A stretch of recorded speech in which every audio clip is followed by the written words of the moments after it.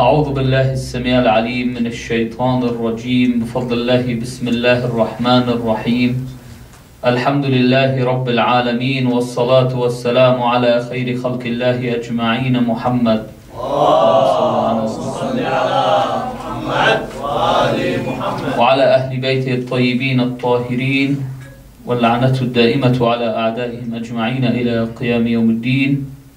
قال الله سبحانه وتعالى في محكم كتابه الكريم بسم الله الرحمن الرحيم. ألم أعهد إليكم يا بني آدم أن لا تعبدوا الشيطان؟ إنه لكم عدو مبين. ونعبدوني هذا صراط مستقيم. صدق الله العلي العظيم. Did I not make a pact with you, O son of Adam, to be wary of the, of the shaitan, of Iblis? For verily he is an open enemy. And worship me, this is the straight or the correct path. That in our lives we live freely and we don't take much thought into our actions as if that we are free to do whatever we please and that there is nobody watching us or that there is nobody out to get us. If somebody was to live a life where they think or they act like somebody is out to get them, we would call that person paranoid. That this person is a paranoid person because he thinks somebody is out to get him. Whereas Allah subhanahu wa ta'ala clearly tells us in the Holy Quran that there is an open enemy who is out to get us. And this open enemy is the shaitan. Iblis is very real. Iblis is very true. And it's very possible the greatest feat of Iblis is to make people think that he does not exist. That Iblis whispers into the hearts of men things, bad ideas, bad thoughts, and pushes them along with their nafs al-ammara to commit sin, to go against Allah subhanahu wa ta'ala. Now this is something we have to take very seriously. This is something we have to we live our lives by that we have this open enemy that is around us. And Allah subhanahu wa ta'ala says, Do not worship him, but worship me. How does one worship the devil? Is it by drawing uh, pentagrams or cutting themselves or whatever it is that, that people that claim to worship the devil do? No. It's obviously not that, as we mentioned earlier, that if somebody even listens to somebody speak, they worship that person, the narration says. If he speaks of Allah, then they worship Allah, and if he speaks of Iblis, then they worship Iblis. Now, we see that throughout our lives, Iblis is always waiting on the ambush. And Iblis always uses different tactics to try and get us. He's always plotting and planning and revising his tactics to be able to get us to fall into sin. One of the greatest tactics of Iblis is to create the environment of sin. Because once you create the environment of sin, and Iblis is weak, weak by the way. It's as easy as us seeking refuge in Allah subhanahu wa ta'ala and Iblis will disappear. Mentioning the name of Allah and Iblis will disappear. We know from the Holy Quran when Iblis asks Allah subhanahu wa ta'ala if he can live a long life at least, that he's been cast out of heaven, but give me a long life. So Allah subhanahu wa ta'ala says, You have been given until the day that we have prescribed, that being the day of judgment or earlier, Allahu A'lam. We have diff- differing narrations. However, he says, How shall I eat? And how shall my soldiers eat? He says, You eat with whomever does not remember the name of Allah subhanahu wa ta'ala on his food. And you sleep with whoever does not remember the name of Allah subhanahu wa ta'ala when he sleeps, etc., etc., even to the point where this is how he has his children. For the people that consummate marriage without remembrance of the name of Allah subhanahu wa ta'ala and other factors, this is how Iblis has his children and his soldiers. That there are people sometimes that are in the shape of human beings, but within them they are Satans. So Iblis tries to create the environment of sin to make it easier for you to sin. Why? The way we see it is if everybody is guilty of something, then nobody is guilty of something.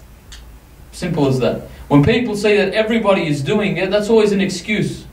You say, for example, this is haram. Yeah, it's haram, but everybody's doing it. Why can't I do it too? Everyone's doing this thing, so I might as well do it. So he creates, or he helps you create that environment of sin. The best way for him to do that is through your friends and your companions.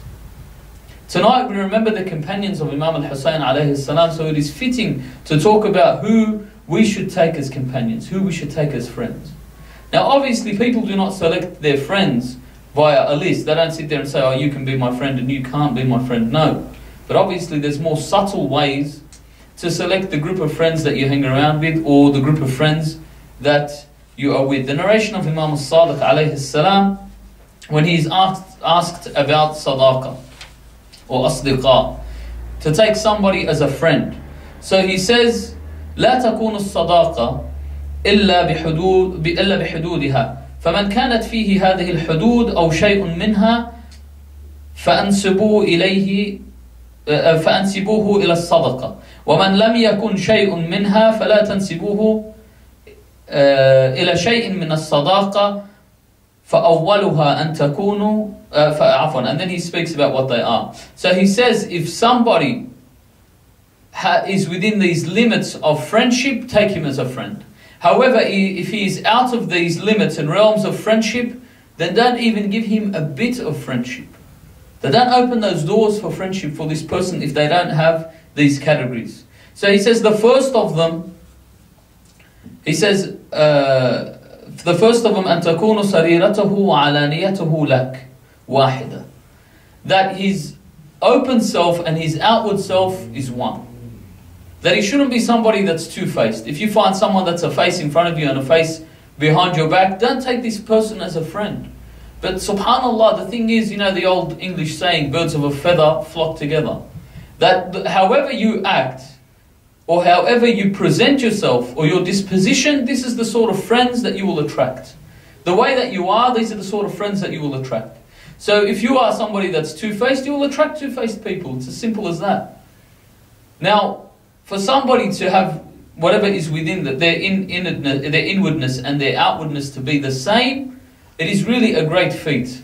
And you notice you meet a lot of people that you talk to them, for example, about religion, they speak about religion. Talk to them about cars, they speak about cars. Talk to them about fighting, they'll speak about fighting. Talk to them about trouble, they'll speak about trouble. That they'll, they'll flip the conversation to whatever is your interest. And I find this a lot with people that either have a lot of knowledge or with people that have many faces that they know what to speak to certain people about. You notice those people that, for example, when they speak to the to uh, your parents, they seem like angels, and your parents are like, "Oh, this guy's a very good friend," or "She's a very, very nice person." What a good person this is to have as a friend. But outwardly, you know, there's something else. That when you and that friend are alone, you know that their personality is different. That they have the ability to show that face. So, firstly, he says that you need their inward and their outwardness should be the same, and then he says, "Wathani." أَنْ يَرَى زِينَكَ زِينَتَهُ زينتك زينه وشينك شينه that he sees that whatever it is that adorns you is something that adorns him and whatever is bad upon you is something that's bad upon him so in other words when, when he when uh, if he sees that you might fall in trouble from something he sees himself as falling in trouble and if he sees that something would be good on him then he'd like it also upon you this is very important. That basically loving for others what you would love for yourself. In fact, this is core in the way that we should treat each other and be around with each other. Most importantly, to our families, to our wives, to the people that are nearest to us, to our parents. This is the way that we should treat them. You notice how a lot of the time we hold a lot of respect and reverence for a foreigner. However, for the people that are closest to us, we know they'll handle more, so we give them more. We know that they, they'll accept a lot more uh, trash from us, so we give them more trash. This is wrong. That you should, whatever you feel as something would be good upon you, you feel it upon them, and whatever is evil upon you, you would feel it uh, evil upon them. He says, then the third thing, لا تغيره عليك ولاية ولا مال that nothing will change him even if he gets a position of power or, or wealth check that if, if he's someone that gets wealth and he becomes different, or someone that gets a position of power, he becomes different. And some people are like that, unfortunately, without dwelling too much on the point. However, you see some people that they acquire a position of power, or a position, for example, a, a, a good job, or any position within the community, and then all of a sudden they don't know anybody. They refuse to be spoken to unless you use their title, etc., etc. Or they may get wealth, and once they get the wealth, they refuse to you, you become beneath them. They become on another level. And then he says, والرابعة أن لا يمنعك شيئا تناله مقدرته. He says that he will not stop you, or he will not stop giving you whatever he has the ability of. That he, he will not stop something from you of what he has the ability over. So, in other words, he's generous. And he says, and the fifth, وهي تجمع هذه الخصال that all of these things are, are in one is that لا يسلمك عند عند النكبات so that he doesn't leave you when he finds you in a position of trouble. This is the most important thing. That a lot of people are your friends up until a certain degree. They, they, you, you have that friendship with them, except when they see you fall into hardship, all of a sudden you see people step away. You see people fall back. Uh, as Imam Ali salam says, that the rich man has a friend everywhere he goes. You notice the rich people, wherever they go, wherever they go, they're known and they have friends. And the poor man, is a stranger even in his hometown. That the poor person, nobody knows the poor person. He lives, he's born, he dies, nobody knows nothing about him. Why? This is how people are. They tend to do, they tend to do this. They tend to lead towards these sort of people. Now, let's say, for example, a rich man loses his wealth. Then you notice that people fall out. People drop away from this person. So these are the sort of things. These are the sort of characteristics that you look for when you're selecting your group of friends. When you're selecting the people you hang around, around with, why? You want to create an environment where it's difficult for you to sin. You want to be in an environment where it's difficult for you to sin. For example, a small thing, just coming to these places of worship, like the mosques and the Husainiyat that we have. By being a regular attendant, you place yourself in that environment where you find it hard to sin. Let's say, for example, somebody, when he's uh, alone with Allah subhanahu wa ta'ala, he sins. However, before the people, he feels it a bit harder to sin, especially if he's somebody who attends the mosque regularly or attends the Husainiyat, he then finds it even harder to sin. How can I sin when I do this? Or imagine somebody, for example, that's, that's the mu'adhin, or qara al-Quran, or prays or leads the prayer in jama'ah, it makes it even harder and harder for him to turn towards something sinful. So you create this environment by adopting a group of friends. The Holy Prophet ﷺ says, كُلِّ مَن تُجَالِسْ أَكُلَّكَ مَنْ أَنْتِ This is a very important concept. That the Holy Prophet basically says, tell me who you hang out with and I will tell you who you are. You notice how a lot of the time we say, oh, I've got this friend and he's crazy. As in, I'm not crazy, but he's crazy. Or I've got this friend and he goes to parties. Or I've got this friend and he does this. Whatever it is I say about my friend, I have a friend that lies a lot. I have a friend that says a lot of ghiba. If you have taken him as a friend and someone you regularly hang out with, then more than likely you are somebody that is guilty of these same crimes. And then people get offended. If you say, oh, I always see you with this guy, he's your friend. Not my friend. Or I always see you with this companion. Oh, he's not my companion. He's just the guy that we hang out with. Well, the Holy Prophet, this is what he says. He says, tell me who you hang out with, and I will tell you who you are. These are who your character. This is what your characteristics are. The Holy Prophet ﷺ tells us to find friends and hang out with friends who are better than us. When I say better, you obviously I don't mean in a financial matter or in a matter of physical attraction. Better than us in faith and disposition and khuluq and akhlaq that their mannerisms and their disposition are better, something that will make me look good. That if I say, for example, I'm the friend of so and so, people say, oh, so and so is a very nice person. So and so is a very good man. So and so is a very pious man. The Imams tell us, Zahimul ulama, that what? Bother the ulama. That when you see the people with knowledge, bother them, continually ask them questions. Don't let them go and say, oh, I better let him be. No. On the contrary, we hear that story of a lady who comes to Fatima al-Zahra alayhi salam, and she says to, to the holy lady, salawatullahi alayha, she asks her a question. So Sayyidah Zahra answers her question. So she comes back again and asks a question and asks a question. And then finally when she comes with her last question, and these are all Islamic questions, she says to her that I'm very sorry that I've uh, troubled you with asking this question. And Fatima Zahra salam says, why are you saying that you're sorry that you're troubling me with this question? If you were, for example, to offer somebody, this is the example that Sayyid Zahra uses, somebody to carry an item from a place to another place, and you offer them a reward such as a mountain full of pearls. A mountain of pearls as a reward to carry an item from one place to another. Would they be upset? Of course not. Somebody tells you that I'll, I'll just carry this thing from one place to another and I'll give you a mountain of pearls. Are you going to say, oh no, or, or you don't want to do it? Or you won't do it, or would you be upset about it? This is the same thing. Fatima Zahra says, for every time you ask me a question and I give you the answer, Allah subhanahu wa ta'ala has put for me a great reward, a huge reward. So of course I'm not going to be upset by this. This is not something that's going to upset me. This is why Rasulullah sallallahu alayhi tells us to bother the people of ilm, bother the scholars, the people that have knowledge, so you can gain knowledge of them. So it's very important about the way we select our friends, why this creates the environment that we live in. This creates the people who we are. When somebody comes up to you and says, Look, you're hanging around with bad people, he says, Oh no, they're not bad people, they're good hearted people. They mean well. They mean well. Because a lot of the time, what attracts us to our friends? Obviously, it is their personality, but sometimes you hang out with someone because they have a nice car, or they have a car to get you around with, otherwise, you can't get around. So you hang around with a certain person because he, he, take, he takes you around. Or, for example, they have one thing, they're generous. So you hang around with a person because they're generous. Or they tell cool stories, long stories, lies sometimes. And so we take these people as friends all for the wrong purposes. All for the wrong purposes. Sometimes we take someone as a friend because we see that friend as protection. We say, oh, this guy is good to have a friend. Why? Because he's big and he's Muslim. And if I get into a fight, I always have him on my side.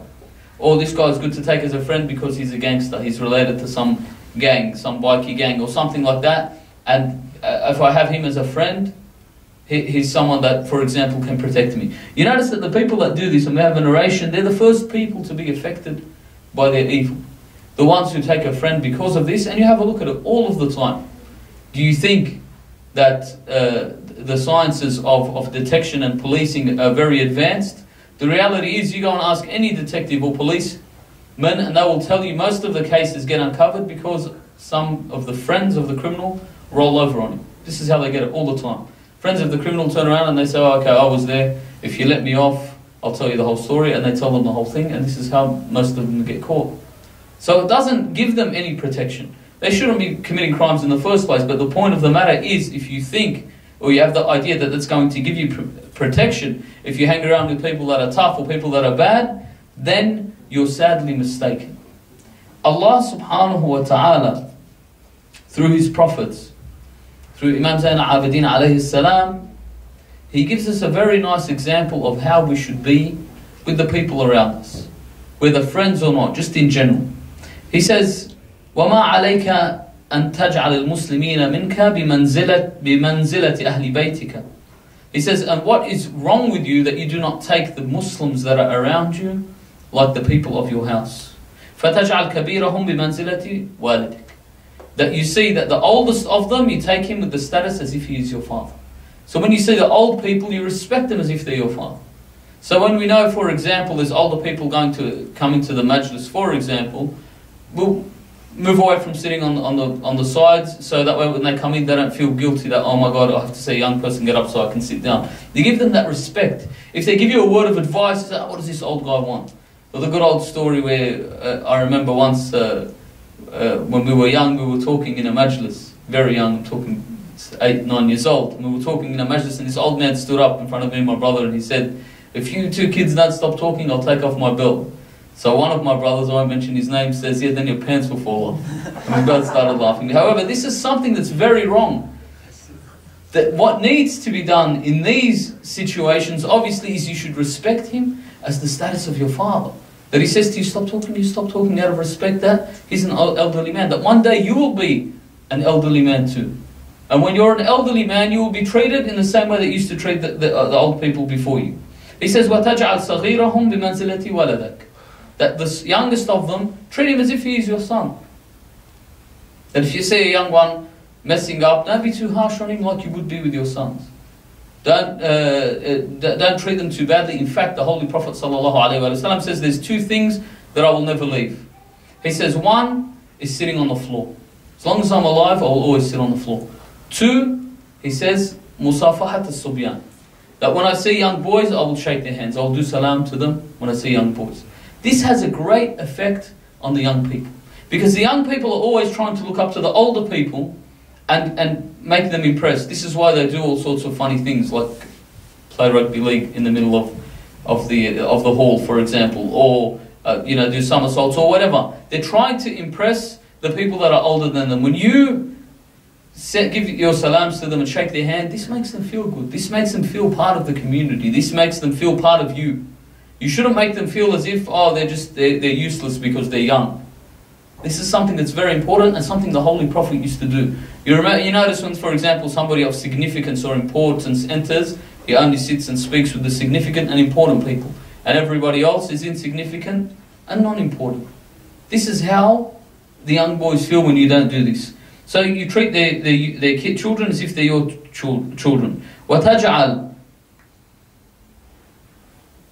وتجعل تربك منهم بمنزلة أخيك that you see that the, obviously the ones that are the same age as you, around the same age as if they're your brothers. فأي هؤلاء فأي هؤلاء تحب أن تظلم أو أي هؤلاء تحب أن تدعو عليه وأي هؤلاء وأي هؤلاء تحب أن تهتك ستره That which of these people would you like to oppress? Or which of them would you like to make dua upon? Or which of them would you like to uncover and speak about their bad things?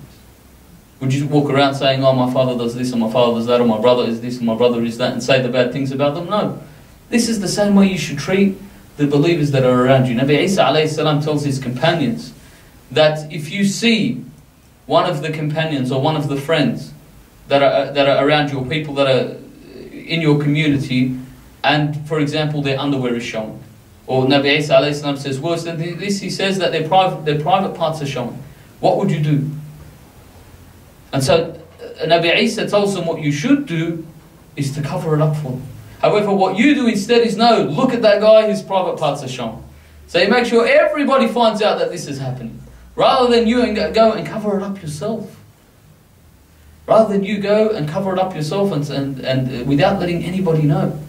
In other words, when you see somebody committing a sin or falling into error, you don't just walk around and say, oh, you've got to hear the latest news.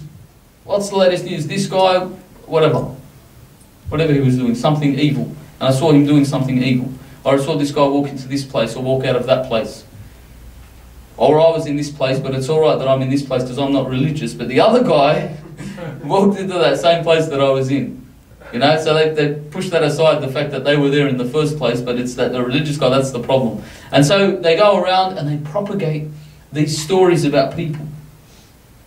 Obviously, this is not what this is not how we have been taught to mix and mingle.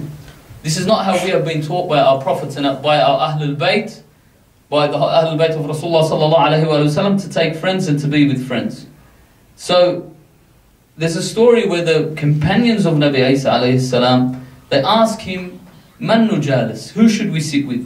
He says, Man yudhakkirakum, Man yudhakkirakum billah wa برؤيته ويزيد في عملكم منطقه وَيُرَغِبَكُمْ فِي الْآخِرَةِ عَمَلًا That the people that you should sit with are the ones who when you see them, you remember Allah subhanahu wa ta'ala. And the ones who what they speak, they whenever they speak, they make you want to do more good deeds, and they make you want to chase after the hereafter, not this world. These are the sorts of people that you need to sit with, and this is what will help you change. Why you create an environment for yourself where sitting is bad.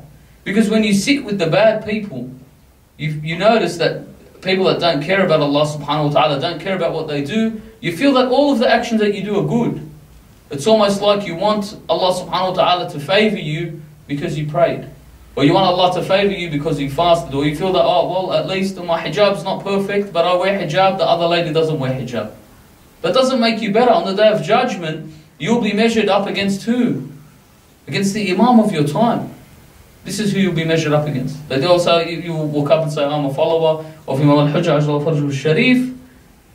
And then Allah subhanahu wa ta'ala will say, well, here is Imam al-Hujjah, and here is you. What of you resembles the Holy Imam? Does the Holy Imam have a ring in his eyebrow? I'm just making sure no one's got a ring in his eyebrow around here. Does the Holy Imam have a rude haircut? Does the holy Imam dress, for example, in, in the manner that we dress, etc., etc.? Does the holy Imam lie? Does the holy Imam steal? Does the holy Imam talk against his brothers? On the contrary, our Imam does dua for us all the time. And if it wasn't for this, we, we wouldn't have anything. Allah subhanahu wa ta'ala wouldn't keep us on this earth. We know that the, the hadith says if it was not for Allah ala al-ard lasakhat al-ard bi-ahliha. That if it was not for the fact that the Imam is on the ground, then the earth would not accept anybody to sin on its back. It would take them in. It's only because the Imam is here that the mercy of Allah subhanahu wa ta'ala stays around us. This is what you will be measured by on the day of judgment. Luqman gives a very nice example to his child. He says that be with the people, that when you are away, they miss you with their hearts. And when you are near, sorry, uh, and when you uh, when you're away, they miss you with their hearts. And if you leave, they cry over you. How many a time, for example, oh, here comes this guy. Let's walk away. Or he comes in, I'm going, I'm going to go outside. Oh, this guy again is going to ask me so and so. This guy is us. It's all of us. Because you know what? You know how you know people are speaking about you? I don't want to make anyone paranoid. It's when you don't hear anything. When an incident happens and you don't hear anything, that means the guys behind you are eating your back. They're speaking as much as they can, but none of, the, none of it comes back to you. And you think, oh, well, I must have got away with that. No one found out, you know, no one saw the, the video on YouTube, alhamdulillah. No one saw the photos on Facebook, alhamdulillah. So you think that you completely got away with it, but this means when you don't hear anyone talk, you, don't hear any talk coming back to you, that means that talk is happening around you. You could be that one that rocks up and people say, oh, you know, as we said, this guy again. We have to stop ourselves from being that to others. And we have to act in a way where people come, oh, this, they're so happy that you open their hearts when they're, when, when, when they're around you, that their presence gives them that ruhani, it gives them that, that uh, advancement in spirituality, that they want to be nearer to Allah subhanahu wa ta'ala. These are important factors that we need to work on and we need to understand. And we are taught these important factors in the plains of Karbala when we hear about the friends of Abu Abdullah al-Hussein salawatullah and the companions of Imam al-Hussein. You know, there were some people on the plains of Karbala that came and fought, but they said, we don't want to die. We'll just fight a little bit and then we'll leave.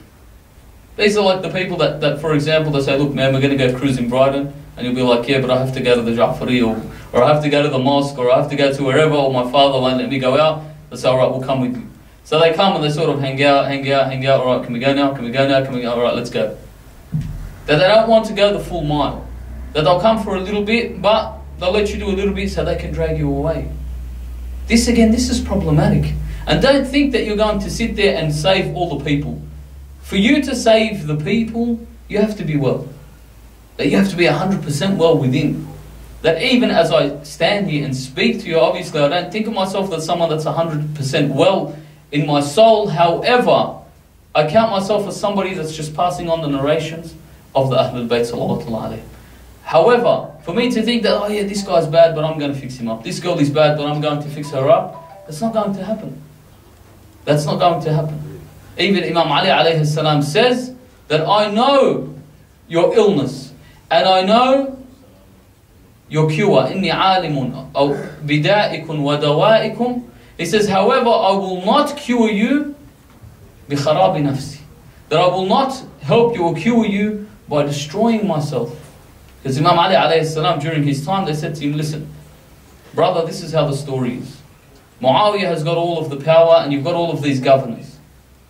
You're going to have to keep some of these governors in there and, you know, you deal with them, be smart politically, smart according to them. Smart according to them is being a thief and being a liar.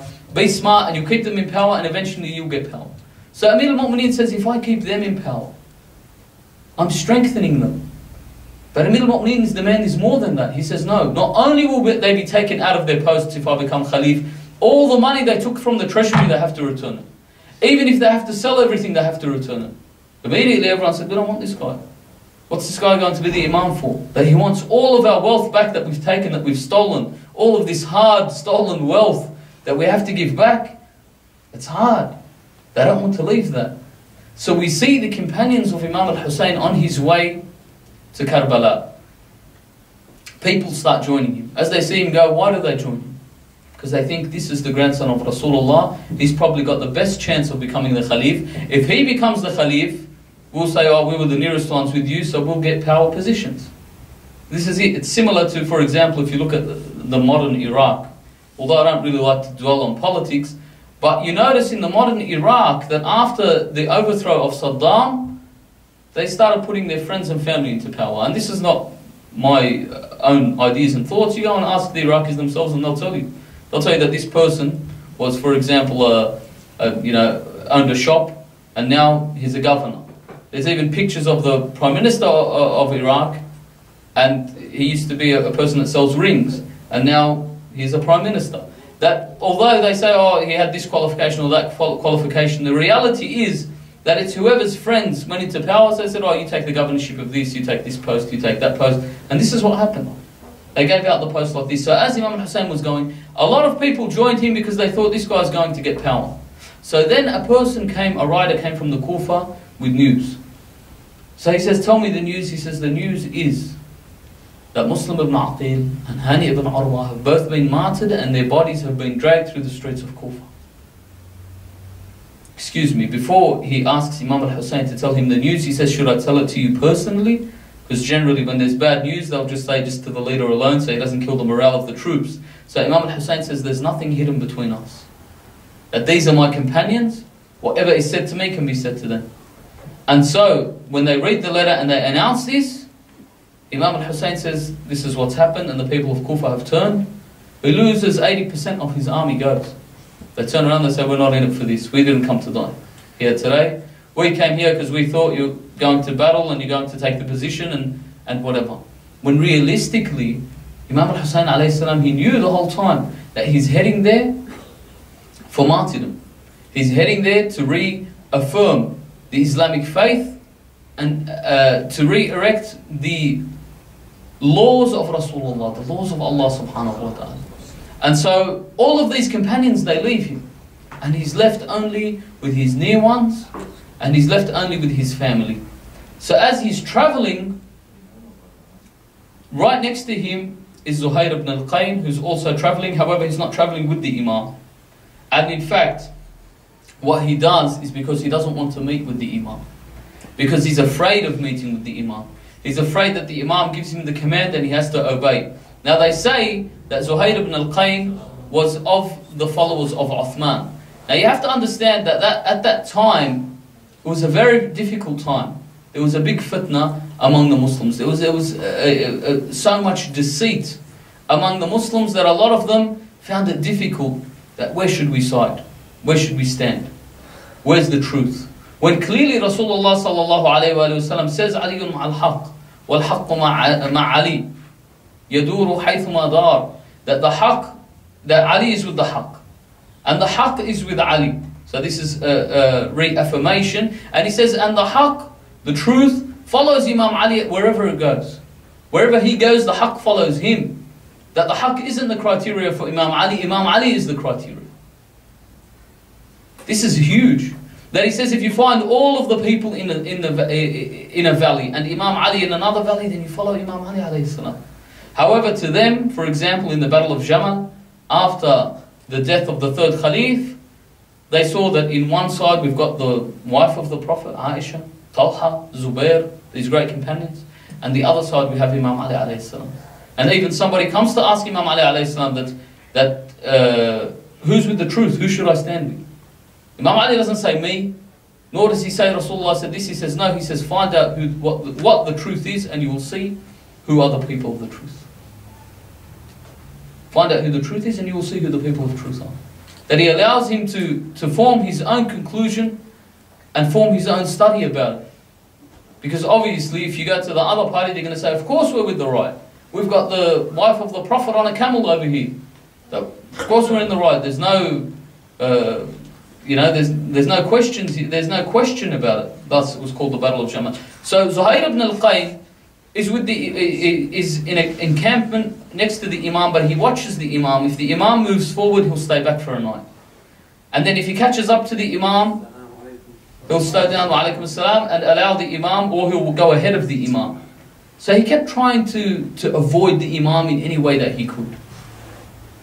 And so eventually their two tents end up right side by side. That the camp, campment of the Imam is right next to the campment, encampment of Zuhair ibn al-Qayn. And so the Imam sends a messenger to Zuhair ibn al-Qayn, and Zuhair ibn al-Qayn is having lunch with his family and his companions. And he says, as soon as the messenger of Imam al-Hussein enters the tent, he says, whatever morsel we had in our hands dropped from our mouth. We realized that Imam al-Hussein is going to ask for our audience.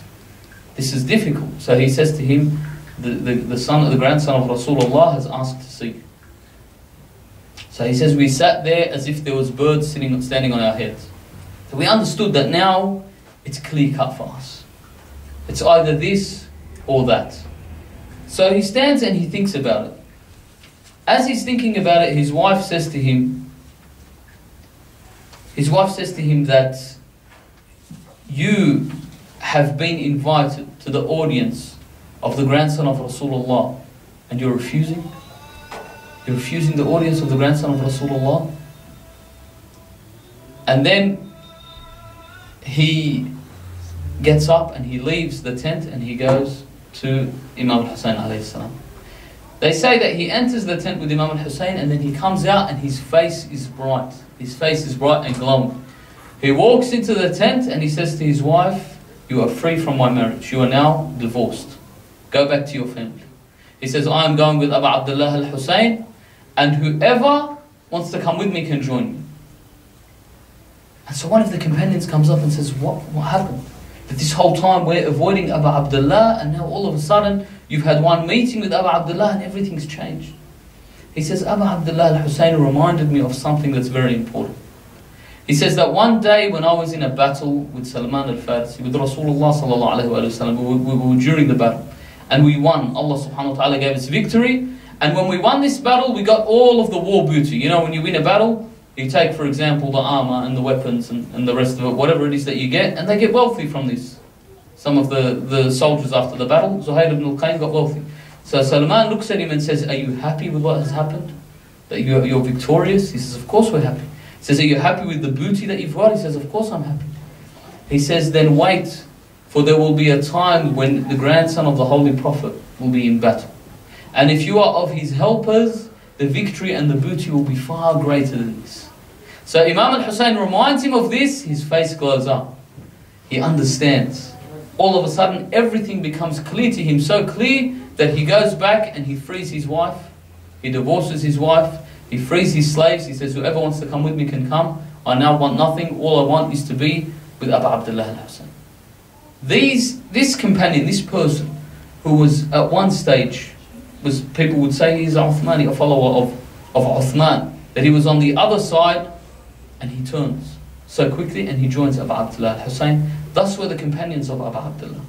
And as he goes on his journey, he gets more and more of these companions. More meetings with these companions. And along the way, to quell the uprising in the Kufa, Muawiyah ibn Abi Sufyan, uh, uh, Yazid ibn Muawiyah begins to kill as many of the companions as he can, as many of the people that might hold word of truth. And they begin to kill them and they begin to slaughter them. Of these companions of, the, of Imam al-Hussein he, he's coming to help Imam al-Hussein, he gets caught halfway. So they arrest him, he's uh, arrested by Hasin ibn Namir or Hussein ibn Numair, and this person arrests him and sends him back to the Kufa. They send him to the court of Ubaidullah ibn Ziyad. This companion is known by, uh, uh, by uh, the name of Abdullah. So Ubaidullah says to the companion of Imam al-Hussein, Who is your master? He says, My master is Ali, and now his son al-Hussein.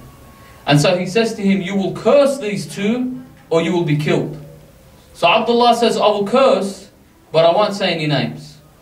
So he says, okay. He gives him the chance to go on the pulpit. So he stands up on the pulpit and he says to Ubaidullah, may Allah curse you and curse your master Yazid and curse his father and all the rest of them. So he agrees to cursing, but he says, I'm not going to say their names. Ubaidullah takes him down and kills him. They crucify him on a palm tree and they kill him. This is one of the many companions that gets killed in this manner that had the intention to go and help Imam al-Hussein, but they never made it to the help of Imam al-Hussein. So we see these great friends and companions of Imam al-Hussein that in fact the Imam testifies himself that there is no companions like my companions. So by that time, he's left with no, hardly any companions. The 73, that's all is left. Everyone else leaves. We get to the night of Ashura, and on this night, this is where Imam al-Hussein actually seeks from the enemy. He tells them, give us respite for one night so we can worship Allah subhanahu wa ta'ala. So they take, they, they say to him, Abu Fadl Abbas, he goes down and he seeks it from the enemy. And so the enemy say, okay, we'll give you respite of one night and tomorrow will be the day of the battle. So during that night, Imam al-Hussein gets his companions together, and they begin to pray. They say that the tents of Imam al-Hussein during this night, during this night, were like a busy, a buzzing beehive. That they were in worship, in prayers, in recitation of the Holy Quran. And then Imam al-Hussein alayhi salam, he says to them that it has come to this. And you are my companions, however, tonight you are free from my allegiance. You're free. The bay'ah is no longer incumbent upon you. That obviously in Islam we have this thing that you have to give allegiance to the Imam. Whoever dies, من يموت ولم يعرف إمام زمانه مات ميتة Jahiliyyah. That whoever dies and does not know the Imam of his time or hasn't given uh, uh, bay'ah to the Imam of his time dies the death of ignorance. This is why we continually give our bay'ah to Imam Sahib Zaman Ajla Farjul Sharif. He is our Imam and the Imam of our time, and we give our bay'ah to this Imam in Dua al Ahad and many of the other du'as that we give. That we continually, some people do it every morning with Dua al Ahad, giving their bay'ah to the Holy Imam. Now, he tells them, You are free from my bay'ah. Furthermore, he says, turn off all the lanterns and the candles and allow whoever wants to leave to leave. Allow them to go, allow them to leave. That now you're under the cover of darkness, so, so you can't be ashamed. You can't be ashamed to leave. That there's cover of darkness, you can leave in the way that you want to leave, and the companions begin to cry. The companions begin to scream from crying. That how can we leave you? O Abu Abdullah. What is life without you, O Abu Abdullah? You call it life? There is no life without you, Abu Abdullah. You are everything. That there's nothing you can tell us or nothing you can do to us that will move us away from you. This is what we have been waiting for our whole life is to die for you, Abu Abdullah. They would never leave you. What did they say? Better than this. The first of them obviously was Abu Fadl Abbas when he tells his brother, of course, that I'm your brother and I will never leave you followed by these great companions like Zuhair ibn al-Qayn, like Burayr, that they stand up and they say, the first one says, he says, Wallah, by Allah, that if I was to be taken and killed, he says, if I was to be taken and killed and cut up and burnt and my ashes scattered in the wind, and this was to happen to me 1,000 times, I will not leave you, O Abu Abdullah. Another companion says, he says that even if I knew that this world was eternal, that there is no hereafter, this is no longer, it's not about paradise. It's not about paradise. Imam Ali alayhi salam has that beautiful saying where he says that I have not worshipped you for your paradise. Nor have I worshipped you because I fear the fire of hell. I have worshipped you because I have found you to be worthy of worship, and this is why I've taken you as a Lord. That Imam Ali alayhi salam worships Allah because he is worthy of worship, neither the worship of the trade, uh, neither the worship of a merchant, where he gives away uh, the, uh, the worship of a merchant who buys paradise by obeying Allah, nor the worship of a slave that worships Allah in fear of hell know that he worships, worships Him because he is worthy of worship. This is the same thing with these companions that they want to die for Abu Abdullah because Abu Abdullah is worthy to die for. And so he says that even if I thought that this world was eternal and there is no hereafter, there's no reward after this, that I would still die for you, O Abdullah. And this is why Imam al-Hussein is moved and he says that there is no companions like my companions. That these people that are among me and are with me and are there to help me, there is none like them. And we see on the day of Ashura the way that they fight so gallant, so, so gallantly and valiantly in battle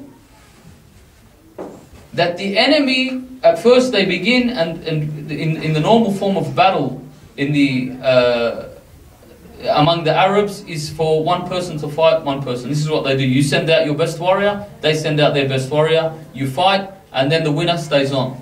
And then they send out their second best warrior, so on and so forth.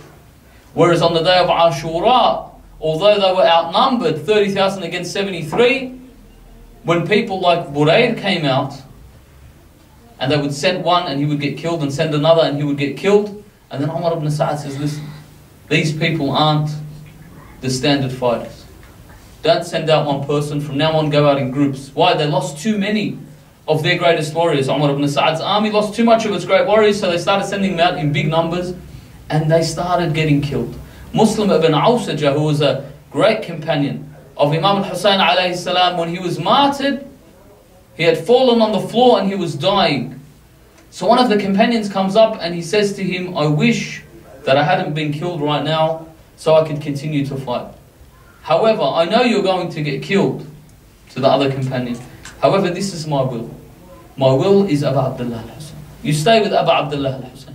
Don't even think of running away. This is my will to you. That in other words, if I had any more life within me, this is what I would go back and do.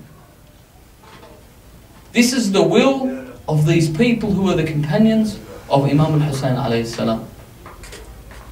وسيعلم الذين ظلموا أي منقلب ينقلبوا والعاقبة للمتقين. وآخر دعوانا أن الحمد لله رب العالمين. السلام عليك يا أبا عبد الله وعلى الأرواح التي حلت بفنائك. عليكم مني سلام الله أبدا ما بقيت وبقي الليل والنهار. ولا جعله الله آخر العهد مني لزيارتكم. السلام على الحسين وعلى علي بن الحسين وعلى أولاد الحسين وعلى أصحاب الحسين. وآخر دعوانا أن الحمد لله رب العالمين رحم الله من قرأ سورة المباركه الفاتحة وأدى ثوابها إلى أرواح المؤمنين والمؤمنات تسبقها الصلاة على محمد وآل محمد. الله